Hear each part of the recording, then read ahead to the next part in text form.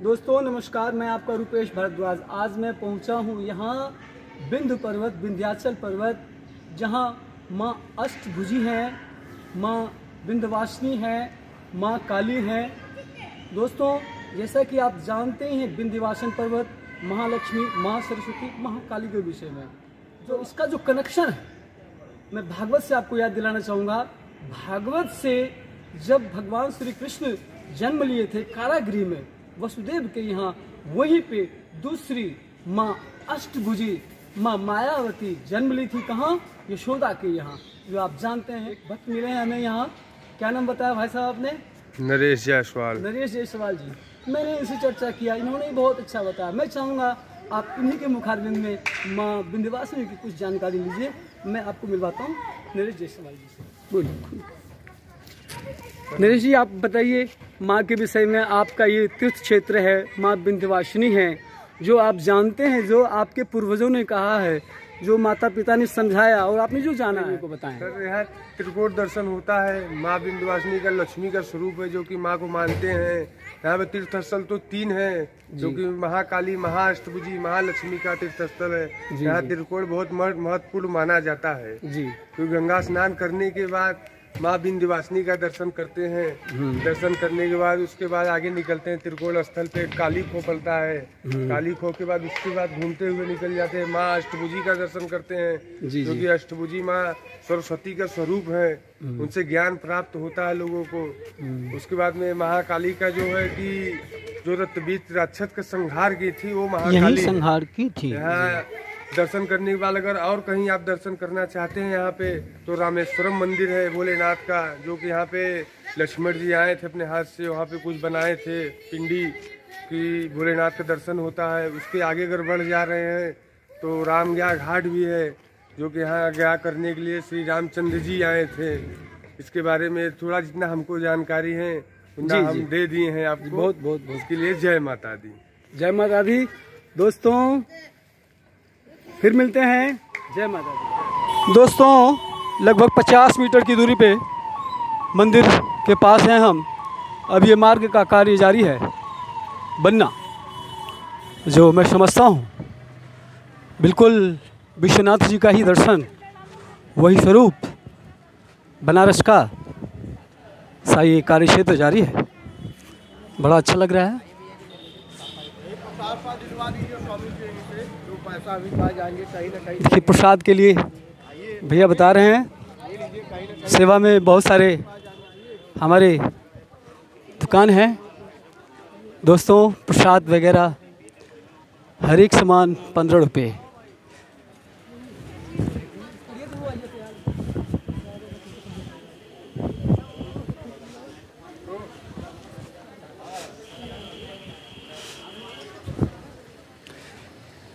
ये माँ विंध्यवासिनी का ये रेस्टोरेंट।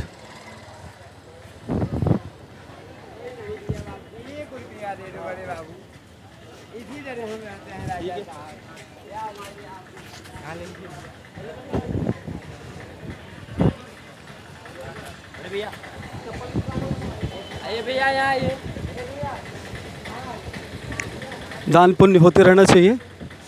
कुछ न कुछ शुभ कार्य दोस्तों, और जब मैं ये चना देखता हूँ तो अक्सर खाने का मन करता है। तो आते हैं, फिर खाते हैं और खिलाते हैं।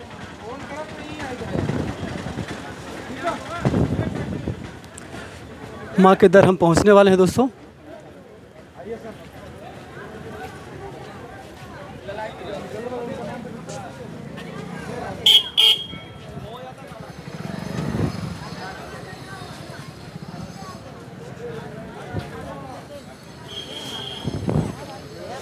मंदिर के निकट हम पहुँच चुके हैं दोस्तों, और मैं कोशिश करता हूँ कि आपको परिक्रमा भी करवा दूँ।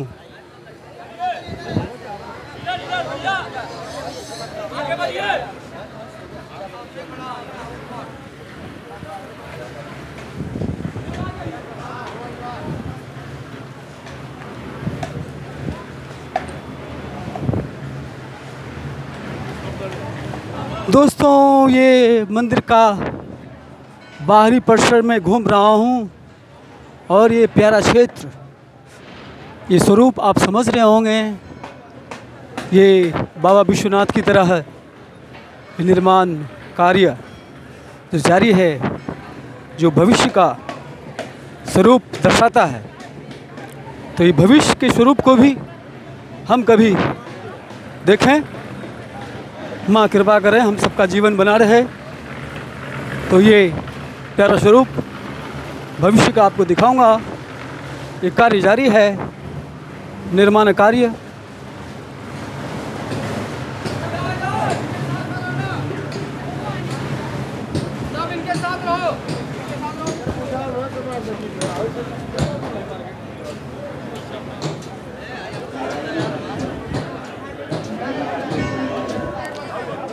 माँ का दर्शन। देख रहे हैं दोस्तों, ये पिलर ये पिलर, विशाल पिलर, जो भविष्य का संकेत करता है।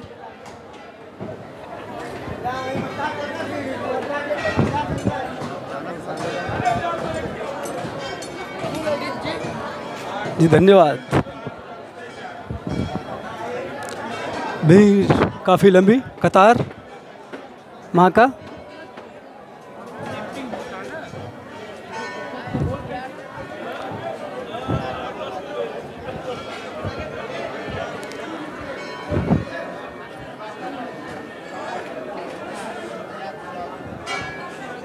तुम मिले, दिल खिले, और जीने को क्या चाहिए? हाँ तुम मिले, दिल खिले, और जीने को क्या चाहिए? ना तू दास तेरे पास पास मैं रहूँगा ज़िंदगी भर। दोस्तों, ये अब आगे मार्ग बंद है कार्य जारी है। तो ये विश्वनाथ का स्वरूप।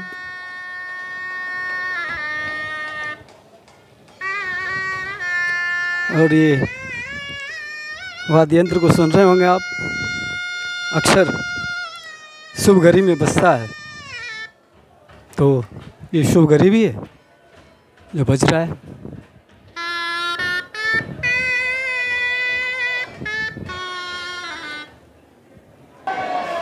दोस्तों, ये पत्थर, ये टाइल्स जो ये निर्माण कार्य में लगेंगे।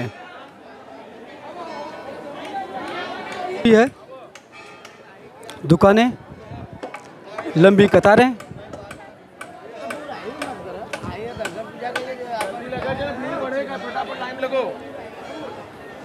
दोस्तों, ये पिलर का, इससे पिलर का निर्माण होगा हाफ़ पिलर आप देख रहे होंगे।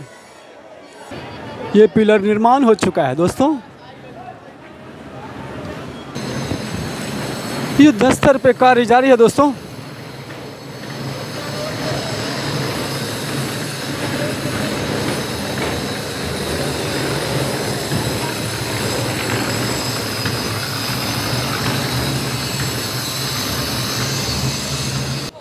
दोस्तों, अब ये सफ़र पूर्ण हो चुका है। चना देखा था, खाने का मन किया था। आइए चना का दुकान दिख गया। और फिर से हमसे सोचते हैं लाइव आपके साथ शेयर करते हैं। कैसे देते हैं? बीस रुपए में। कम से कम? बीस। कम से कम बीस।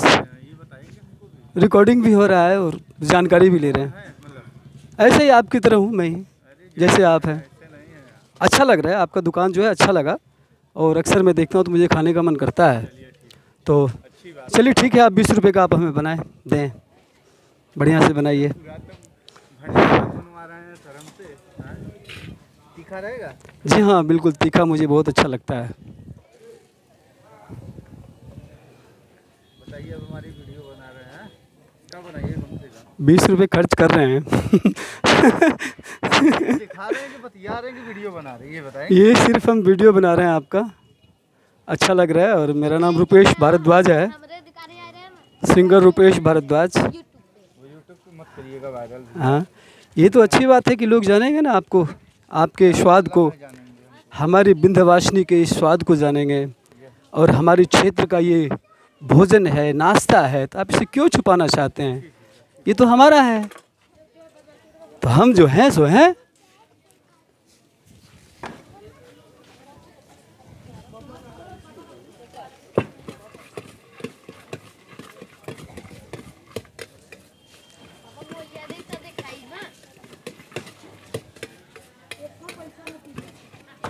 हम मंदार पर्वत से हैं।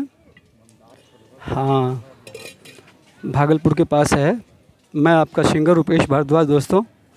चलिए इनकी जानकारी के साथ साथ मैं बच्चे ने भी कहा, ये किस पे लगाएँगे? तो मेरा चैनल है मंदार ब्लॉग। तो आप सभी इसको देखें और हमारे मंदार ब्लॉग को सब्सक्राइब करें एवं शेयर करें। साथ साथ मेरे भजनों को सुनने के लिए सिंगर रुपेश भारद्वाज सर्च करें और भजन सुने मंदार पर्वत का राधे राधे